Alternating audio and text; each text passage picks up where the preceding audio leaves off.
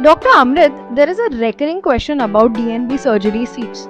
Students say that they are worried that they'll not get any cutting if they take a DNB seat and that's why they take a drop that year, hoping that next year they'll get an MS seat. So, what is your opinion on the same?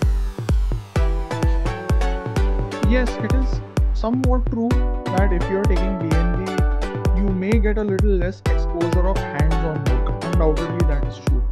But pros of a DNB institute. Like you will be exposed to the best possible technology, which you may not see, especially if you take MS in a peripheral small town institute. You will get exposure to robotics, advanced laparoscopy. So you will have good exposure. Yes, hands-on will be less, no doubt but you can always compensate for that in your residency, in your SR. So if you feel I did not get to do 100 hernia repairs but I got to 20, yes, you can compensate.